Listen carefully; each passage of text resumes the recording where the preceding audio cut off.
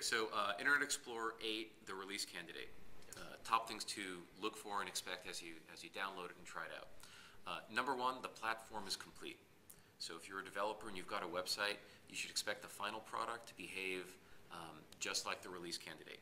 So you should try out your site, you should try out all your CSS, all your script, all your object model, uh, enjoy the developer tools. Number one, the platform's complete. Try it out.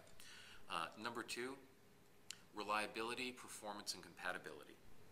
Uh, we took a lot of data from how people were using Beta 2, and we looked at the top performance issues, the top crashes and hangs, and we've done a lot of updates based on that data.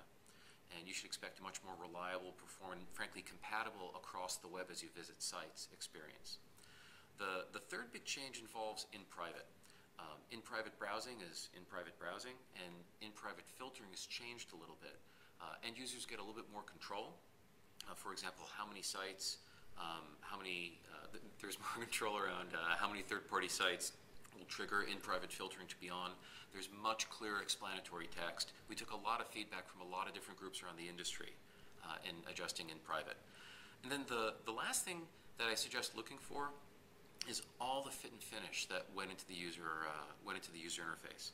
I think people will notice that in the search dropdown, for example, it's a lot easier to try out different search engines and just flip between all the ones that you have installed, or performance in the address bar, and and how you see uh, results as you type them into the address bar. There are some uh, surprises we have hidden in the favorites bar as well. I hope you find them. And uh, other than that, please enjoy the release candidate. Thanks.